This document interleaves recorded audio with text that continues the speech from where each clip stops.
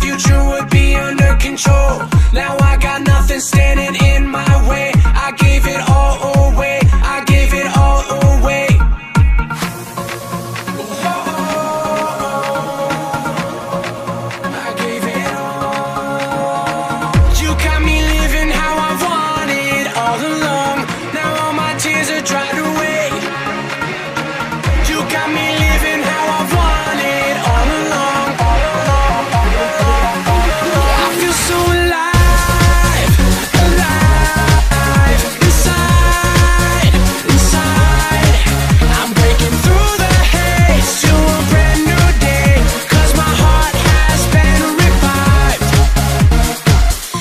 Was I supposed to survive in this fast sea?